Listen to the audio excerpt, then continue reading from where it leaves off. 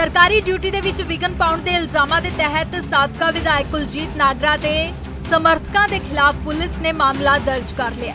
ਦਰਅਸਲ ਜ਼ਿਲ੍ਹਾ ਫਤਿਹਗੜ੍ਹ ਸਾਹਿਬ ਦੀ ਕੋਆਪਰੇਟਿਵ ਸੁਸਾਇਟੀ ਚਨਾਰਥਲ ਕਲਾ ਦੀ ਚੋਣ ਦਾ ਮਾਮਲਾ ਹੁਣ ਗਰਮਾਉਂਦਾ ਜਾ ਰਿਹਾ ਹੈ। ਇਸ ਮਾਮਲੇ ਨੂੰ ਲੈ ਕੇ ਸਰਕਾਰੀ ਡਿਊਟੀ ਦੇ ਵਿੱਚ ਵਿਘਨ ਪਾਉਣ ਦੇ ਇਲਜ਼ਾਮਾਂ ਹੇਠ ਸਾਬਕਾ ਵਿਧਾਇਕ ਕੁਲਜੀਤ ਨਾਗਰਾ ਦੇ ਸਮਰਥਕਾਂ ਤੇ ਮਾਮਲਾ ਦਰਜ ਕਰ ਲਿਆ ਹੈ, ਜਿਸ ਦੇ ਰੋਸ ਵਜੋਂ ਜ਼ਿਲ੍ਹਾ ਪ੍ਰਬੰਧਕੀ ਕੰਪਲੈਕਸ ਫਤਿਹਗੜ੍ਹ ਸਾਹਿਬ ਦੇ ਅੱਗੇ ਕਾਂਗਰਸ ਪਾਰਟੀ ਦੇ ਆਗੂਆਂ ਵੱਲੋਂ ਸੜਕ ਜਾਮ ਕਰਕੇ ਰੋਸ ਪ੍ਰਦਰਸ਼ਨ ਕੀਤਾ ਜਾ ਰਿਹਾ ਹੈ ਅਤੇ ਆਮ ਆਦਮੀ ਪਾਰਟੀ ਖਿਲਾਫ ਜੰਮ ਕੇ ਨਾਅਰੇਬਾਜ਼ੀ ਕੀਤੀ ਗਈ ਹੈ। ਨਾਲ ਹੀ ਕਿਹਾ ਗਿਆ ਹੈ ਕਿ ਦਰਜ ਪਰਚੇ ਨੂੰ ਰੱਦ ਕੀਤਾ ਜਾਵੇ। ਕਾਂਗਰਸ ਦੇ ਸਾਬਕਾ ਵਿਧਾਇਕ ਕੁਲਜੀਤ ਨਾਗਰਾ ਨੇ ਕਿਹਾ ਕਿ ਚਨਾਰਥਲ ਕਲਾ ਦੀ ਕੋਆਪਰੇਟਿਵ ਸੁਸਾਇਟੀ ਦੇ ਸਕੱਤਰ ਵੱਲੋਂ ਸਰਕਾਰੀ ਡਿਊਟੀ ਦੇ ਵਿੱਚ ਵਿਘਨ ਪਾਉਣ ਦੇ ਇਲਜ਼ਾਮ ਹੇਠ ਜੋ ਝੂਠਾ ਮਾਮਲਾ ਦਰਜ ਕਰਵਾਇਆ ਗਿਆ, ਉਸ ਦੇ ਖਿਲਾਫ ਕਾਂਗਰਸ ਪਾਰਟੀ ਦੇ ਆਗੂਆਂ ਵੱਲੋਂ ਇਹ ਰੋਸ ਪ੍ਰਦਰਸ਼ਨ ਕੀਤਾ ਜਾ ਰਿਹਾ ਹੈ ਅਤੇ ਇਸ ਮਾਮਲੇ ਦੀ ਪੁਲਿਸ ਦੇ ਸੀਨੀਅਰ ਅਧਿਕਾਰੀਆਂ ਦੇ ਕੋਲੋਂ ਪੜਤਾਲ ਹੋਣੀ ਚਾਹੀਦੀ ਹੈ ਤਾਂ ਜੋ ਅਸਲ ਸੱਚ ਸਭ ਦੇ ਸਾਹਮਣੇ ਆਵੇ।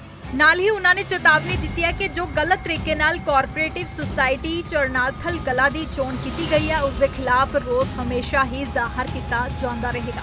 ਦੱਸਣਾ ਬੰਦ ਹੈ ਕਿ ਬੀਤੇ ਦਿਨੀ ਸਾਬਕਾ ਵਿਧਾਇਕ ਕੁਲਜੀਤ ਨਾਗਰਾ ਤੇ ਡੀਐਸਪੀ ਸੁਖਨਾਜ ਸਿੰਘ ਵਿਚਾਲੇ ਤਿੱਖੀ ਬਹਿਸ ਹੋਈ ਸੀ, ਕਿਉਂਕਿ ਕੁਲਜੀਤ ਨਾਗਰਾ ਤੇ ਇਲਜ਼ਾਮ ਲੱਗੇ ਸਨ ਕਿ ਉਹਨਾਂ ਨੇ ਬਿਨਾਂ ਮਨਜ਼ੂਰੀ ਲਏ ਹੀ ਸਪੀਕਰ ਲਗਾਏ ਸਨ ਤੇ ਧਰਨੇ ਤੇ ਸਪੀਕਰ ਲਗਾਉਣ ਨੂੰ ਲੈ ਕੇ ਦੋਵਾਂ ਵਿਚਾਲੇ ਤਿੱਖੀ ਬਹਿਸ ਹੋਈ ਅਤੇ ਇਸ ਬਹਿਸ ਦੀ ਵੀਡੀਓ ਵੀ ਸੋਸ਼ਲ ਮੀਡੀਆ ਤੇ ਖੂਬ ਵਾਇਰਲ ਹੋਈ, ਜਿਸ ਤੋਂ ਬਾਅਦ ਹੁਣ ਇਹ ਮਾਮਲਾ ਗਰਮਾਉਂਦਾ ਜਾ ਰਿਹਾ ਹੈ। ਇਹ ਜਿਹੜਾ ਪ੍ਰੋਟੈਸਟ ਹੈ, ਤੁਸੀਂ ਤੁਹਾਨੂੰ ਪਤਾ ਹੀ ਹੈ ਕੋਆਪਰੇਟਿਵ ਸੁਸਾਇਟੀ ਚਨਾਥਨ ਕਲਾਂ ਦੀ ਜਿਹੜੀ ਗੈਰ ਰਸਮੀ ਗੈਰ ਕਾਨੂੰਨੀ ਚੋਣ ਹੋਈ ਸੀ।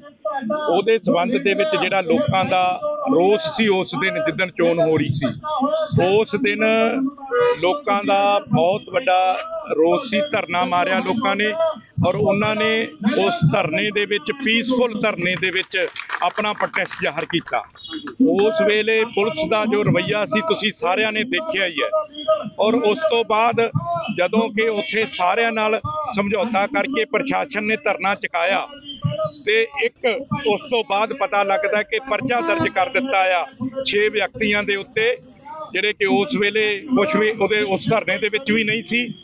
ਉਹਨਾਂ ਦੇ ਉੱਤੇ ਸਿਆਸੀ ਦਬਾਅ ਥੱਲੇ, ਲੋਕਲ ਐਮਐਲਏ ਦੇ ਦਬਾਅ ਥੱਲੇ ਉਹ ਪਰਚਾ ਦਰਜ ਕੀਤਾ ਗਿਆ। 20 25 ਵਿਅਕਤੀ ਨਾਮਲੂਮ ਦੱਸੇ ਗਏ।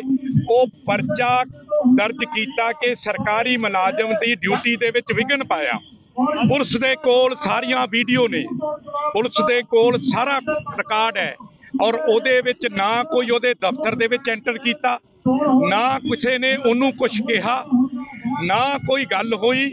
ਇੱਕ ਪ੍ਰਾਈਵੇਟ ਵਿਅਕਤੀ ਦੀ ਗੱਡੀ ਜਿਹੜੀ ਰੋਕੀ ਕਿਸੇ, ਜਿਹੜੀ, ਜਿਹੜੇ, ਜਿਹੜਾ ਕਿ ਗਾਲਾਂ ਕੱਢ ਕੇ ਭੱਜ ਰਿਹਾ ਸੀ, ਉਸ ਪ੍ਰਾਈਵੇਟ ਵਿਅਕਤੀ ਦੀ ਜਦੋਂ ਕੁਝ ਲੋਕਾਂ ਨੇ ਗੱਡੀ ਰੋਕਣ ਦੀ ਕੋਸ਼ਿਸ਼, ਉਹ ਗੱਡੀ ਉੱਤੋਂ ਦੀ ਚੜਾ ਕੇ ਲੋਕਾਂ ਦੇ ਉੱਥੋਂ ਗੱਡੀ ਲੈ ਗਿਆ, ਭਜਾ ਕੇ ਲੈ ਗਿਆ ਔਰ ਸੈਕਟਰੀ ਨੇ ਜਿਹੜਾ ਕਿ ਪੰ- ਜਿਹੜਾ ਸੁਸਾਇਟੀ ਦਾ ਸੈਕਟਰੀ ਹੈ, ਉਹਦੇ ਤੇ ਦਬਾਅ ਪਾ ਕੇ ਔਰ ਉਹਦੇ ਤੇ ਇੱਕ ਉਹਦੇ ਕੋਲੋਂ ਪਰਚਾ ਦਰਜ ਕਰਾਇਆ ਕਿ ਮੇਰੀ ਡਿਊਟੀ ਦੇ ਵਿੱਚ ਮੈਨੂੰ ਵਿਗਨ ਪਾ ਕੇ ਤੇ ਮੇਰੇ ਨਾਲ ਉਹਨਾਂ ਨੇ ਬਦਸਲੂਕੀ ਜਿਹੜੀ ਕਰਨ ਦੀ ਕੋਸ਼ਿਸ਼ ਕੀਤੀ ਹੈ। ਮੇਰੇ ਤੋਂ ਰਜਿਸਟਰ ਖੋਣ ਦੀ ਨੀਅਤ ਨਾਲ ਆਏ ਸੀ। ਮੈਂ ਇੱਥੇ ਪੁੱਛਣਾ ਚਾਹੁੰਦਾ ਨਾ ਤੁਹਾਡੇ ਦਫ਼ਤਰ ਗਏ।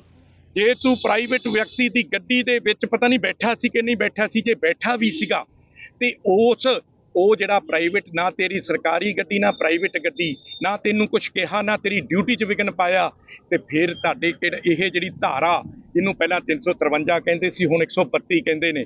ਉਹ ਲਗਾ ਕੇ ਜਾਣ ਕੇ ਲੋਕਾਂ ਨੂੰ ਡਰਾਉਣ ਲਈ ਤਾਂ ਕਿ ਉਹਨਾਂ ਦੀਆਂ ਜ਼ਮਾਨਤਾਂ ਥਾਣੇ ਨਾ ਹੋ ਸਕਣ। ਸੋ ਇਸ ਕਰਕੇ ਇਹ ਜਿਹੜਾ ਝੂਠਾ ਪਰਚਾ ਦਰਜ ਕੀਤਾ ਸਾਨੂੰ ਡਰਾਉਣ ਲਈ, ਸਾਨੂੰ ਧਮਕਾਉਣ ਲਈ, ਸਾਡੀ ਆਵਾਜ਼ ਨੂੰ ਦਬਾਉਣ ਲਈ, ਇਹ ਬਿਲਕੁਲ ਬਰਦਾਸ਼ਤ ਨਹੀਂ ਕੀਤਾ ਜਾਊਗਾ। ਇਹ ਧਰਨਾ ਉਹਦੇ ਖਿਲਾਫ ਹੈ।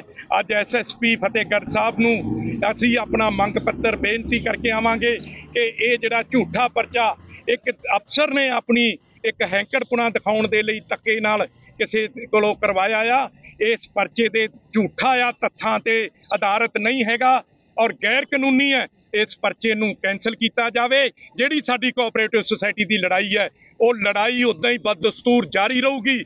ਪੁਲਿਸ ਆਪਣਾ ਉਸ ਲੜਾਈ ਦੇ ਵਿੱਚ ਇਸ ਪਰਚੇ ਨੂੰ ਦਰਜ ਕਰਕੇ ਸਾਨੂੰ ਧਮਕਾਉਣਾ ਚਾਹੁੰਦੀ ਹੈ। ਅਸੀਂ ਪਹਿਲਾਂ ਹੀ ਕਹਿੰਦੇ ਆ ਮੰਨੂ ਸਾਡੀ ਦਾਤਰੀ, ਅਸੀਂ ਮੰਨੂ ਦੇ ਸੋਏ ਜਿਉਂ-ਜਿਉਂ ਸਾਨੂੰ ਵੱਢਦਾ, ਅਸੀਂ ਦੂਣ ਸਵਾਏ ਹੋਏ।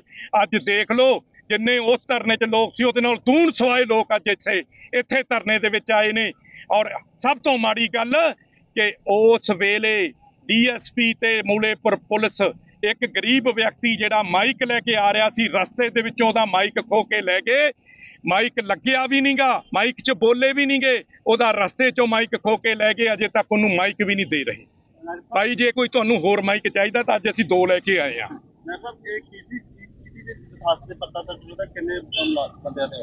ਇਹ ਤਰਨਵੀਰ ਸਿੰਘ ਸੈਕਟਰੀ ਜਿਹੜਾ ਕੋਆਪਰੇਟਿਵ ਸੁਸਾਇਟੀ ਹੈ, ਉਹਦੀ ਦਰਖਾਸਤ ਤੇ ਦਰਜ ਹੋਇਆ ਹੈ।